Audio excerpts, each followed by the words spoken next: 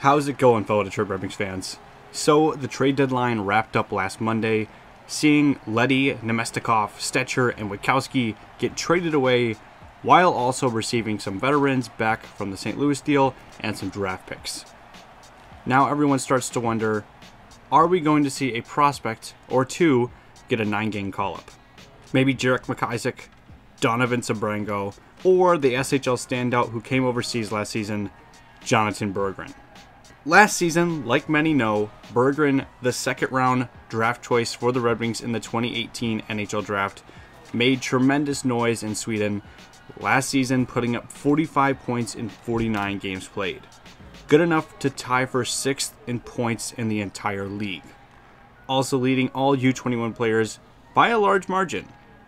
So obviously, the Red Wings would go on to sign Berggren and bring him to North America in hopes they have a future top six NHL player. So let's take a look at how he has done this season, what people are saying about him, and possibly him being called up to the Wings for a nine game tryout.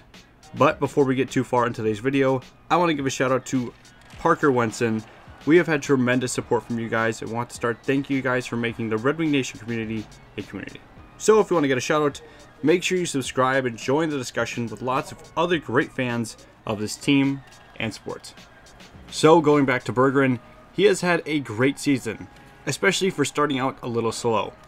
Recording only one point in his first five games to start the season with the Griffins, but since then has regained his play, bouncing back to become second on the team in goals, assists, and points through 53 games played.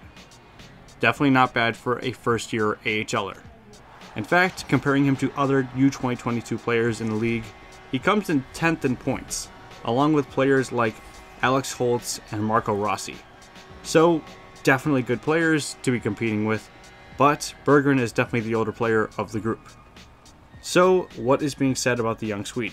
Well, just recently, Yzerman held a conference in regards to the trade deadline but the topic of Berggren, Edvinsson, and Soderblom came up. Yzerman, talking about Berggren, went on to say, Jonatan Berggren has had a very good season. We're pleased with his play. He's gotten better from the start to this point in the season. He has worked extremely hard. I want to make the playoffs, referring to the Griffins, who are in a dogfight for the last playoff spot in their division. So I kind of trade off with maybe seeing him up here but he certainly improved his play throughout the course of the season, and it's definitely something that's on our minds. In terms of where he could fit into the lineup, there's actually a hole in the top six.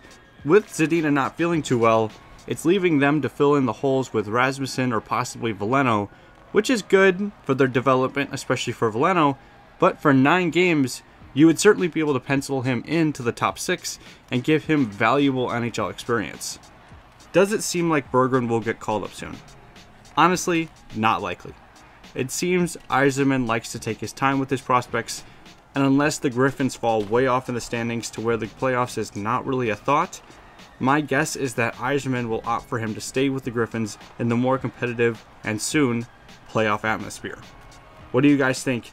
Will we see Berggren don the wing wheel, or will we have to wait until the 2022 23 season? Let us know down below.